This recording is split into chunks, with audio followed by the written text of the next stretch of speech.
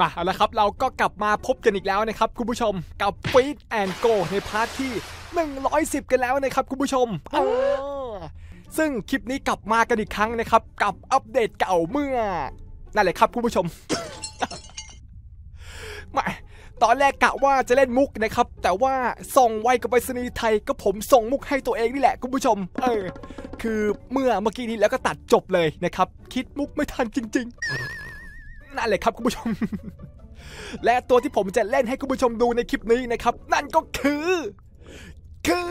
ไม่เอาไม่เล่นใหญ่ดีกว่านะครับ ผมไม่รู้ว่าจะหาเจอตอนไหน และตัวที่ผมกำลังหาอยู่นั้นนั่นก็คือ ตัวนี้เลยคุณผู้ชมปลานกแก้วนั่นเองนะครับ ซึ่งเป็นอัปเดตเก่าจริง ๆ ที่ผมยังไม่เคยเล่นเลย หรือถ้าจะให้ผมพูดตรงๆเลยก็คือ ไม่มีป่าจะเล่นแล้วนะครับ ตอนนี้ ผู้พัฒนาอัปเดตมาสักทีเถอะนะครับ อันนี้ก็ต้องมารอดูกันอีกทีว่าอัปเดตจะมาตอนไหนนะครับ ซึ่งผมคาดการณ์ไว้ว่าจะมีอัปเดตใหม่นะครับเข้ามาในวันที่ 25 กุมภานี้นะครับ แต่คลิปนี้จะได้ลงวันไหน อันนี้ก็อีกเรื่องนะครับอะและตอนนี้ก็ถึงเวลาของสาระของปาปากันแล้วคุณผู้ชม เพราะว่าตัวนี้ผมยังไม่ได้หาข้อมูลมาเลย เพราะฉะนั้นไปดูกัน แต่เดี๋ยวก่อนคุณผู้ชมก่อนที่เราจะไปเล่นกัน ผมก็มีแอปแอปหนึ่งมานำเสนอให้คุณผู้ชมดูก่อนนะครับ แอปนี้มีชื่อว่า Get Contact นั่นเองนะครับ ซึ่ง feature หลักของแอป Get Contact นี้มีไว้สำหรับการป้องกันสแปมทำให้เรารู้ว่าใครโทรหาเรา ไม่ว่าจะเป็นพวกคนขายประกันหรือเชิญชวนขายของต่างๆนะครับ ก็ช่วยให้เราสามารถหลบหลีกพวกขายตรงได้ง่าย เสริมด้วยการรู้ข้อมูลของตัวเราเองในการเซฟของคนอื่นแอปนี้ทำให้เรารู้ว่าใครเซฟชื่อเบอร์โทรศัพท์เราในชื่ออะไร ยกตัวอย่างเช่น ผมชื่อปาร์คนะครับ ถ้าเพื่อนของเราเซฟชื่อคอนแทคไว้ว่า มุ้งบินกระดิ่งแมวปาร์คเป็นร้อนในปาร์คเปียงยาง อันนี้น่าจะเป็นเพื่อนที่สนิทกันตั้งให้นะครับ ส่วนปาร์คขยันซอยมึนจังมุงคาปาร์คอันนี้น่าจะเป็นชื่อสมัยเรียนนะครับคุณผู้ชม ส่วนปาร์คซอย อันนี้น่าจะเป็นเพื่อนหน้าปากซอยอย่างแน่นอนเพราะมีแต่ซอย นั่นเลยครับคุณผู้ชม เวลาที่เราเปิดใช้งานแอปนี้ก็จะทำให้เรารู้ว่า มีคนแอบเซฟชื่อเบอร์มือถือเราแปลกๆไว้นะครับอ่าแบบนี้เลยคุณผู้ชมไม่ได้การนะครับ ผมจะต้องไปตั้งชื่อให้เพื่อนแบบนี้บ้างในเลยคุณผู้ชมกดเข้ามาที่เบอร์นะครับ เพิ่มแท็ก แล้วทีนี้ก็สามารถกรอกชื่อแท็กได้เลย เมื่อกี้นี่เหมือนว่าชื่อที่ผมโดนตั้งให้จะออกไปในทางเกาหลีซะส่วนใหญ่นะครับ เพราะฉะนั้นชื่อที่ผมจะตั้งให้เพื่อนนี่เลยทีเฉียวหัวนะครับ ออกไปทางจีน แล้วก็กดเพิ่มแท็กได้เลยคุณผู้ชมอ่าอะไรประมาณนี้นะครับคุณผู้ชม และสำหรับใครที่สนใจแอปนี้นะครับ สามารถโหลดแอปมาใช้งานในรายละเอียดใต้คลิปนี้ได้เลย สามารถโหลดได้ทั้ง Android และ iOS นะครับ โหลดเลยนี่เลยคุณผู้ชมปลานกแก้วนะครับ เป็นปลาทะเลกระดูกแข็งในวง ข้ามได้ข้าม อะไรข้ามได้ข้าม อ่านยาก ในอันดับปลากระพงนะครับ เป็นปลาที่มีขนาดโตเต็มที่ประมาณ 30-70เซนติเมตรนะครับ มีฟันแหลมคมคล้ายๆจะงอยของนกแก้ว อันเป็นที่มาของชื่อเรียกว่าจะงอยปากยื่นหดได้ เกล็ดมีขนาดใหญ่เส้นข้างลำตัวขาดตอน คีบหางกลมมนหรือตัดตรงนะครับอะนี่ไงขาดตอนเลยไอ้บ้าเป็นปลาที่กินฟองน้ำนะครับปลาการังหรือสาหร่ายทะเลเป็นอาหาร ซึ่งผมอยากจะบอกว่าให้คุณผู้ชมตัดคำพวกนี้ออกไปได้เลยนะครับ เพราะว่าในคลิปนี้ผมไม่กิน นั่นเลยครับคุณผู้ชมสาระของปลาป่าทีนี้มาดูกันที่สแตทของปลาตัวนี้กันก่อนนะครับ เลือดเริ่มต้นอยู่ที่ 18 นะครับ damage อยู่ที่ 3 น้ำหนักอยู่ที่ 1.72 กิโลกรัม ส่วนความเร็วในการกัดอยู่ที่ 0.8 ต่อวินาที ไม่มีพลาดคุณผู้ชม ส่วน ability นะครับ คงไม่ต้องถามถึง เพราะว่าไม่มีอะถ้าพร้อมแล้วเดี๋ยวเราไปลุยกันเลยดีกว่านะครับ คุณผู้ชม ไปลุยกันเลย แต่ทำไมมือสั่นหวังว่าผมกดเริ่มไปเนี่ย คงจะไม่มีจังหวะซิทคอมรอผมอยู่นะ หวังว่านะครับ เอาละครับ ไปลุยกันเลยนั่นไงแหมเกือบจะซิทคอมแล้วคุณผู้ชม ไม่ไม่ไปดีกว่า คุณผู้ชมไปดีกว่า ถ้าตอนนี้ผมก็เนี่ยเนี่ยนึกถึงตัวไหนไปไม่ได้นอกจากฉลามขาวเกือบไปคุณผู้ชม อะไรกันครับเนี่ยรอดมาแบบงงๆคุณผู้ชม ต่อจากเมื่อกี้นี้เลยคุณผู้ชมที่ผมรอดมาได้อย่างงงๆนะครับ ตัวที่ผมพอจะมับเข้าให้นะครับ ก็คงจะเป็นปลาพวกนี้แหละ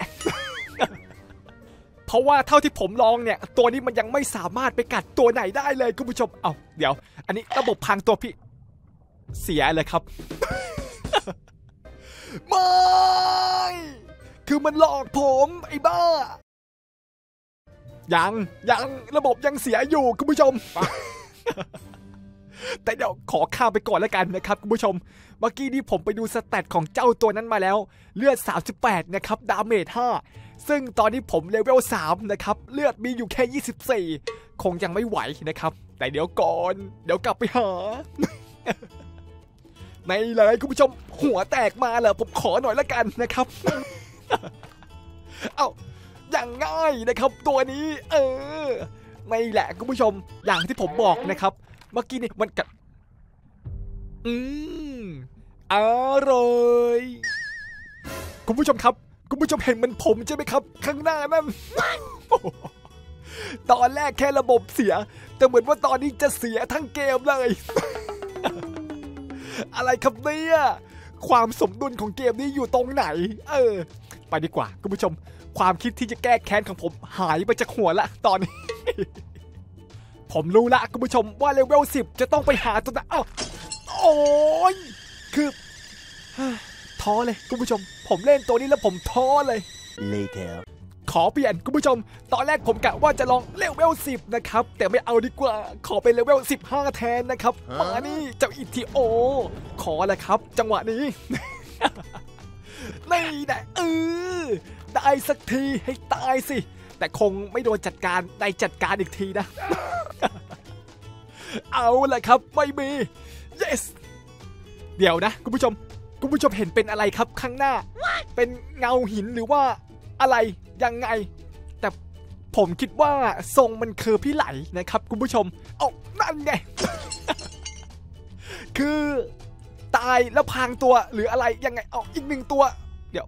เหมือนจะตายอยู่แล้วนะครับ แต่พรางตัวอีหยังวะเอาแมงป่องทะเลก็มานะครับ นี่ เหมือนจะโดนพี่แมงป่องทะเลจัดการนี่สิคุณผู้ชมมันต้องแบบนี้ เมื่อกี้นี้แหละอย่างท้อเลย คุณผู้ชมครับ ไอ้เจ้าระบบพรางตัวมันมาถึงตรงนี้แล้ว คือถ้าผมเข้าไปเดี๋ยวผมจะโดนโดดไปล่ะมาโอ้โหปล่อยไว้ไม่ได้คุณผู้ชมอย่าเพิ่งหันมานะนี่แหละพอก่อนคุณผู้ชม ผมขอหยุดไว้เพียงเท่านี้ก่อน เห็นได้ชัดว่าขนาดเลเวล 20 ยังไม่ไหวนะครับ เพราะฉะนั้นถ้าผมไปตอนนี้อีกก็ อืม Uh.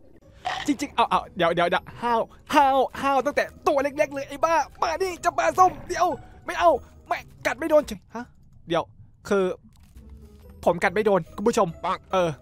ระบบเพี้ยนไปกันใหญ่ละเกมนี้เพี้ยนไปกันใหญ่แล้ว โอ้โหแหมมันต้องโดนสิเออแหม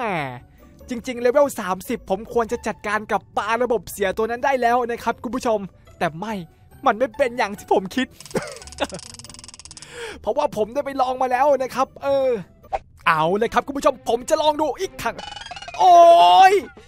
นั่นแหละคุณผู้ชม เออ